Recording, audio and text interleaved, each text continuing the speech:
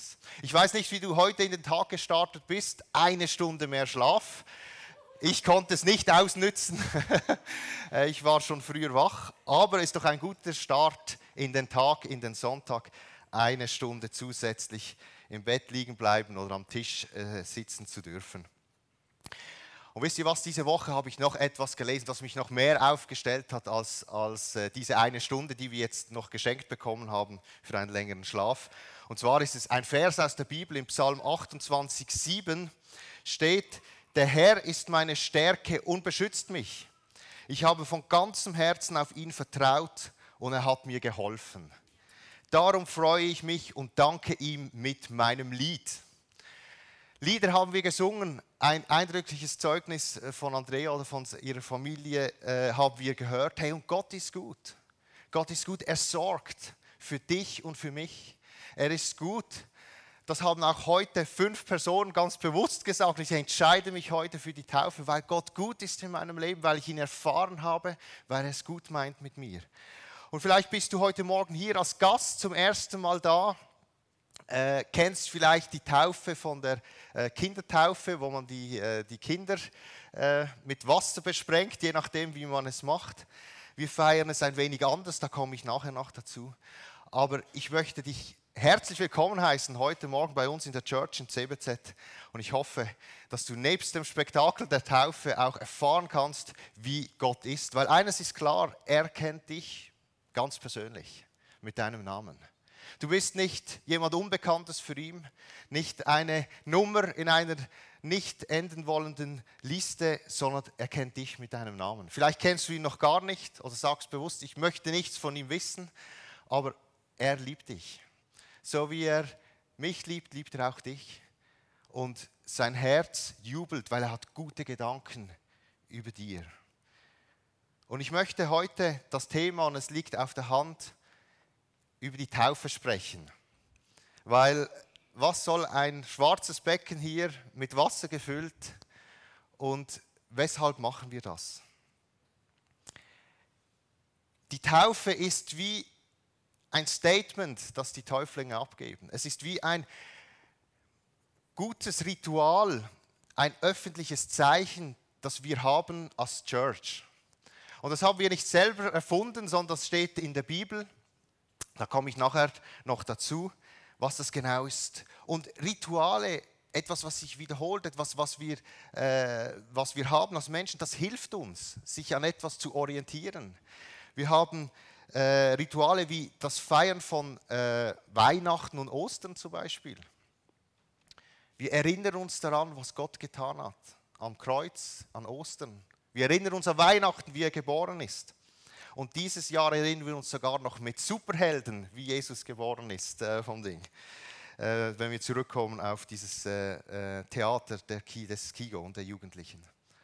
Und so ist es auch mit dem Abendmahl, wo wir zurückdenken, was Jesus getan hat. Er hat sein Leben gegeben, was in dem Abendmahl, in dem Brot und in dem Wein oder bei uns mit dem Traubensaft symbolisiert. Er hat sein Leib gebrochen äh, hingegeben am Kreuz und hat sein Blut vergossen für dich und für mich. Und jetzt kommen wir eben zu dieser Taufe. Was ist die Taufe? Es ist mehr als nur Wasser und nass werden.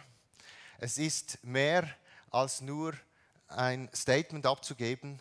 Und in der Bibel lesen wir im Neuen Testament, es gibt drei Arten von Taufen. Es gibt die Taufe in den Leib Christi hinein, in die Gemeinde hinein. Das ist der erste. Es gibt zweite, und das werde ich heute vertiefen, die Wassertaufe. Und der dritte, die Taufe im Heiligen Geist. Diese Arten, diese drei Arten lesen wir in der Bibel, in der Apostelgeschichte. Und wir kommen heute nicht dazu, weil heute äh, wir eben diese Taufe feiern dürfen, alle Punkte durchzugehen. Ich möchte auf die Wassertaufe dann eingehen. Das Wort taufen bedeutet im Griechischen wie eintauchen, untertauchen oder hineinlegen. Täuflinge dürfen entscheiden, wir holen sie immer wieder rauf. Also, wenn ihr hineinlegen möchtet, je nachdem, wie lange ihr Schnauf habt, äh, vom Ding. Nein, Spaß beiseite, das ist alles geregelt. Ich will niemand verunsichern heute, die ins Wasser steigen. Aber alles, diese drei Taufenarten haben etwas gemeinsam. Das sind drei Punkte. Es braucht jemand einen Täufer. Es braucht jemand, der sich taufen lässt, Taufkandidatinnen und Kandidaten. Und es braucht ein Element, in dem man hineingetauft wird. Und wenn wir vielleicht zu einer anderen Gelegenheit die anderen zwei Arten der Taufen durchgehen, werdet ihr merken, diese Punkte kommen immer wieder vor. Und heute betrachten wir diese drei äh, Punkte zuerst mal bei der Wassertaufe. Also wer ist der Täufer? Heute haben wir zwei, das ist Dennis und äh, Patty. Wer sind die Taufkandidaten? Da haben wir ganze fünf heute. Ich äh, nenne die, ja, ihr dürft ruhig applaudieren. Jawohl.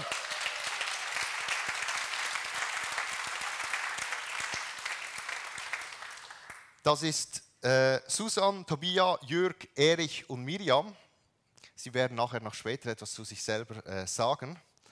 Und dann haben wir noch das Element, in das sie getauft werden. Und das ist hier in diesem schwarzen Trog.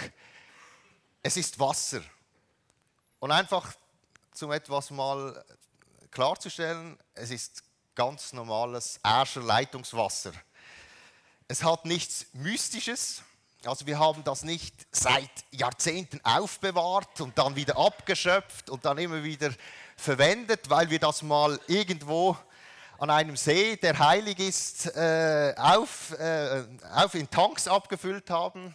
Also überhaupt nicht. Es ist normales Leitungswasser, aber es symbolisiert etwas, was wir nachher dazu kommen. Das sind diese drei Elemente. Und warum Erwachsenentaufe? Die Bibel kennt, so ist unser Verständnis, nur eine Taufe. Und das ist, wenn wir eine persönliche Entscheidung treffen für Jesus. Und deshalb sagen wir, dass man im Alter, wo man entscheiden kann, möchte ich Jesus nachfolgen oder möchte ich es nicht, dann auch der Schritt zur Taufe macht. Und deshalb haben wir bei den Kindern keine Taufe, sondern wir haben eine andere Form, und zwar das ist die Segnung. Wir segnen sie ein. Wir bringen sie Gott und bitten um Schutz, um Bewahrung, um ein gutes Leben für dieses Kleinkind. Das ist der Unterschied vielleicht, den man vielleicht kennt von der Kirche her. Aber wir verstehen die Bibel so, wenn man das liest, die Leute, es waren erwachsene Leute, die haben sich entschieden, Ja zu Jesus und der nächste Schritt war Ja zur Taufe. Die Wassertaufe ist unglaublich wichtig. Ich habe mich als mich Martin gefragt hat, am Fre Donnerstag oder Freitag war das, ob ich heute die, die, den Kurzinput machen kann und ich hoffe, dass ich kurz bleibe.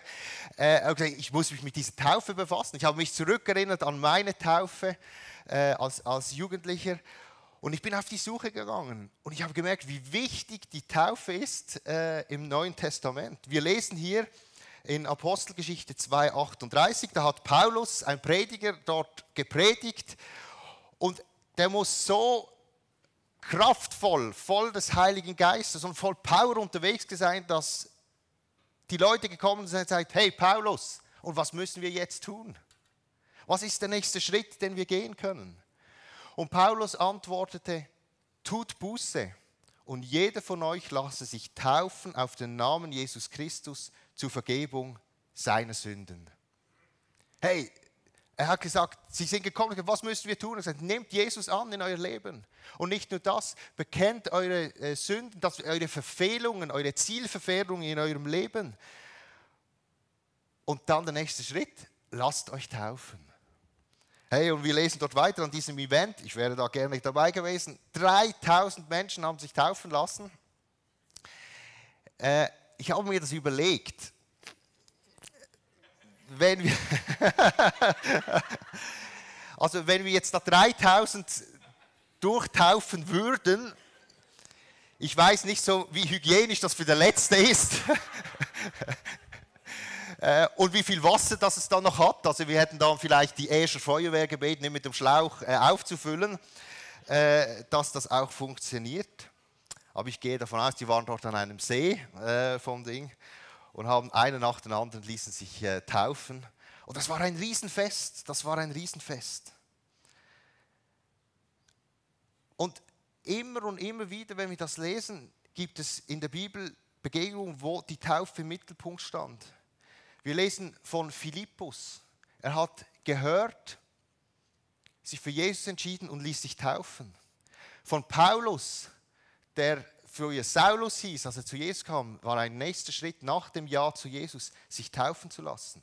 Cornelius, der von Jesus hörte, ihn annahm, er und sein ganzes Haus, also seine Bediensteten und seine Familie, ließen sich taufen. Lydia, die erste Europäerin, eine Frau, äh, ließ sich, äh, entschied sich für Jesus und ließ sich taufen. Sie und ihr ganzes Haus. Also, was ist so wichtig an dieser Taufe, an dieser Wassertaufe? Und weshalb sollten wir uns ganz persönlich fragen, wenn du noch nicht getauft bist, sollte ich mich taufen lassen? Und ich habe hier drei Punkte, die ich mit euch betrachten möchte. Und zwar, der erste Punkt ist, warum soll ich mich taufen lassen? Weil es Jesus in der Bibel sagt. Wir lesen in Matthäus 28, 19, wo Jesus den sogenannten Missionsbefehl gegeben hat, als er seine Jünger ausgesandt hat, hat er gesagt, darum geht zu allen Völkern und macht sie zu Jüngern. Tauft sie im Namen des Vaters und des Sohnes und des Heiligen Geistes und lehrt sie, alle Gebote zu halten, die ich euch gegeben habe. Und ich versichere euch, ich bin immer bei euch bis ans Ende der Zeit. Jesus persönlich war ganz klar. Er hat wie ein Gebot gegeben und hat gesagt, hey, meine Freunde, geht hinaus, erzählt von mir, von Jesus. Und wenn sich die Leute entscheiden und Ja sagen, dann fordert sie doch auf, ermutigt sie, sich taufen zu lassen. Für mich ist das keine Lehrmeinung, die man diskutieren könnte. Dieser Satz ist ziemlich klar. Es ist ein Gehorsamsschritt, den wir gehen. Dieses Wort Gehorsam, vielleicht stellt es manchen die Hacken, äh, Nackenhaare auf. Ah, das tönt so ich werde gezwungen dazu. Aber es ist ein Schritt, den wir gelesen oder als ich mich vorbereite, immer wieder gesehen habe, die Leute, das war für sie wie logisch. Und er hat gesagt, jetzt, ich habe mich für Jesus entschieden, ich habe mein Leben geändert, ich habe das, was hinter mir ist, habe ich abgegeben und ich habe etwas Neues begonnen und ich möchte das zeigen mit einem öffentlichen Statement und Ja sagen zu Jesus. Wir lesen weiter in Markus äh, 16, 15. Wer glaubt und getauft wird, wird gerettet werden. Wer aber nicht glaubt, wird verurteilt werden. Und diese Zeichen werden die begleiten, die glauben. Sie werden in meinem Namen Dämonen austreiben und sie werden neue Sprachen sprechen. Sie werden Schlangen anfassen oder etwas Tödliches trinken können und es wird ihnen nicht schaden. Sie werden Kranken die Hände auflegen und sie heilen. Hey, alles still alle geschockt äh, vom Ding. Vielleicht ein kleines äh, Amen. Oder äh, hey, theologisch gut formuliert äh, vom Ding. Hey, das ist eine Zusage. Eine Zusage, die Jesus diesen Menschen gibt, die sagen, ja, ich entscheide mich für ein Leben mit dir, Jesus. Die Taufe ist ein Gehorsamschritt. Und wenn Jesus in unserem Leben an erster Stelle steht, sollten wir auch tun, was er sagt. Zweitens, I'm clean. Ich bin rein, habe ich diesen, äh, diesen Punkt genannt. Die Wassertaufe ist wichtig, weil sie einen Ausdruck gibt, wie soll ich das sagen, eines reinen Gewissens. Wir lesen in 1. Petrus 3,21, wo es heißt, das ist ein Bild für die Taufe, die euch jetzt rettet. Die Taufe ist keine körperliche Reinigung. Also ich hoffe, die Täuflinge haben geduscht heute. Nein, ist keine körperliche Reinigung, sondern die Bitte an Gott um ein reines Gewissen. Dies ist möglich durch die Kraft der Auferstehung von Jesus Christus. Die Taufe ist ein Statement, das ich abgebe, ein Ausdruck davon, ein reines Gewissen zu haben. Und es ist nicht etwas, was ich selber gemacht habe. Und ich sage, ja, jetzt, ich weiß, am Sonntag werde ich getauft. Und jetzt eine Woche lang nichts Falsches machen, damit ich ein reines Gewissen haben kann. Ich schließe mich ein im Büro und mache nichts, äh, dass nichts passiert. Nein, überhaupt nicht.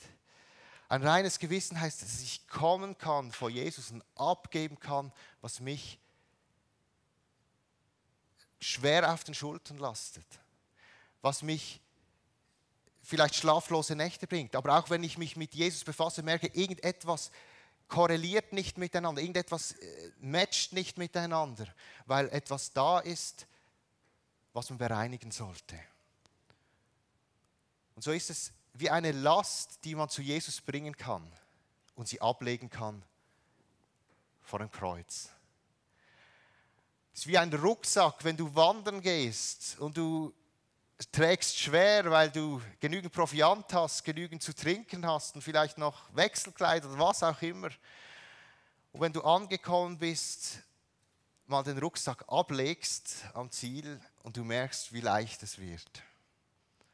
Und das ist für mich das Verständnis, wenn ich kommen kann ans Kreuz mit einem Rucksack voll beladen, mit Fehlern, die ich gemacht habe, mit Gedanken, die mich quälen, mit Ängsten, die ich habe, mit Fragen, die sich umtreiben und sagen kann, ich gebe dir alles hin. Ich lege diesen Rucksack von meiner Wanderung ab und platziere sie am Kreuz.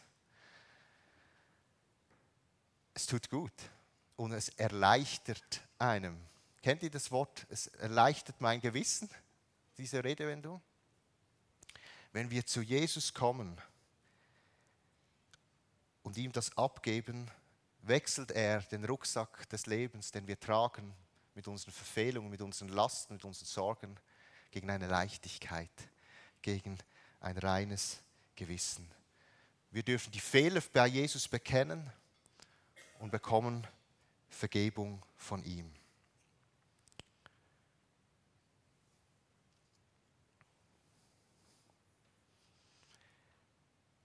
Die Täuflinge, die wir heute taufen dürfen, haben einen Kurs gemacht oder wurden eingeladen. Man hat darüber gesprochen, auch sich zu entscheiden, ja zu dieser Taufe zu sagen und auch was vielleicht war, abzulegen und reinen Tisch zu machen. Jesus ist gestorben für unsere Sünden und das dürfen wir annehmen und ein reines Gewissen, ein leichtes Gewissen haben. Wir lesen in 2. Korinther 5, 17. Das bedeutet aber, wer mit Jesus lebt, wird ein neuer Mensch. Er ist nicht mehr derselbe, denn sein altes Leben ist vergangen, ein neues Leben hat begonnen. Amen. Hey ein neuer Mensch entsteht. Vielleicht seht ihr äußerlich noch gleich aus, vielleicht ändert aber auch das Gesicht, die Haltung, das Reden. Jesus macht neu. Und ich erinnere mich zurück an die Taufe meines Vaters. Mein Vater, ich habe das schon mal in einer anderen Predigt erzählt, hat sich unter extrem, ich sage mal unter äh, ja, extremen Bedingungen für Jesus entschieden, nämlich auf der Intensivstation äh, bei einem Herzinfarkt. Aber er hat klare Sache gemacht mit ihm. Und so war der Schritt auch der Taufe, des öffentlichen Statements. Und das war so ein Fest für uns als Familie, weil wir als kleine Kinder haben jahrelang gebetet, dass sich unser Vater für Jesus entscheidet.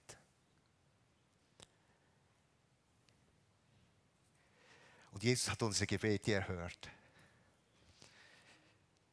Und dieses Zeichen der Taufe, ja, vor der Church, vor den Leuten, die da kommen, ob bekannt oder unbekannt, mache ich ein Zeichen und ich lasse mich taufen. Ein starkes Statement das wie ein neuer Geburtstag ist, den wir als Familie gefeiert haben. Ein neuer Mensch ist entstanden.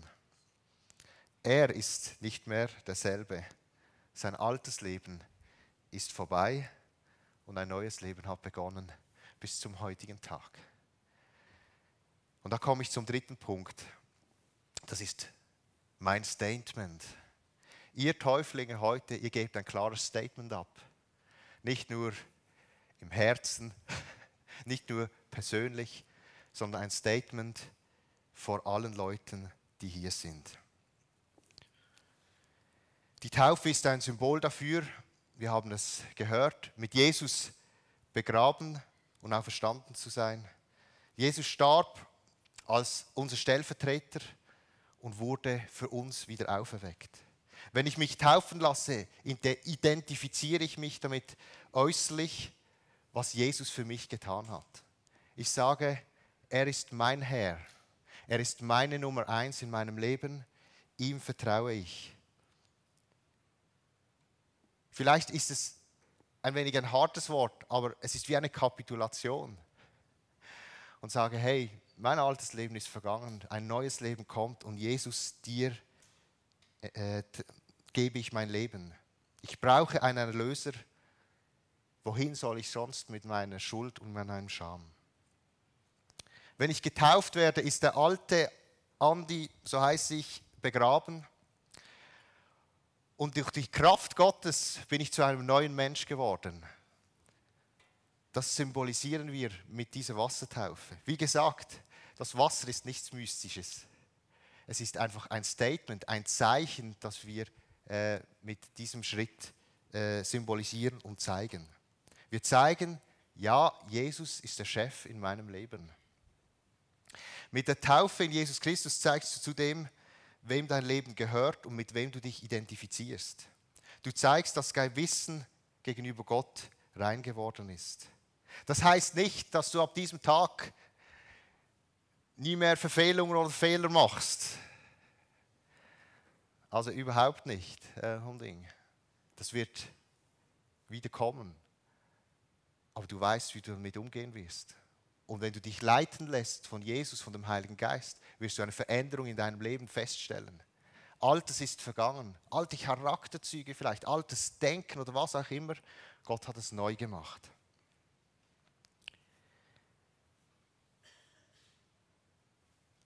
Die Herrschaft der Sünde ist gebrochen, das Alte ist vergangen und Neues ist geworden. Das feiern wir mit der Taufe.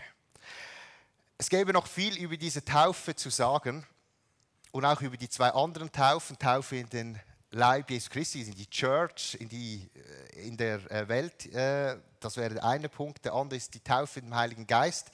Aber das können wir auf ein anderes Mal verschieben. Und ich möchte jetzt eigentlich nichts weiteres als den Platz räumen und Dönnis und den Täuflingen übergeben, die ein Statement heute Morgen abgeben, ich gehöre Jesus. Amen.